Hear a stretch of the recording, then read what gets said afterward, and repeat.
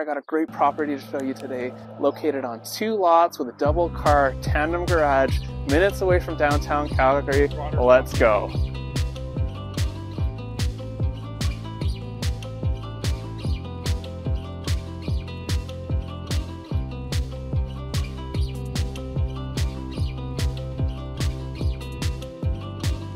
Now walking up to this place, I find it really has some decent curb appeal. I'm actually going to come into the side entrance here just to show it off that uh, we have a separate entrance going down to the basement.